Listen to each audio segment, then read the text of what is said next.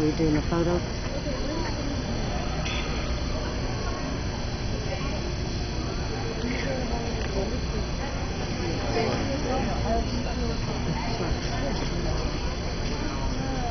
You saw the guy doing it, remember, in St. Charles?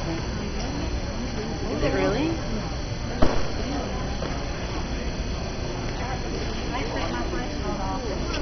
But my picture wasn't coming out good enough. See, this is without flash mode. Oh.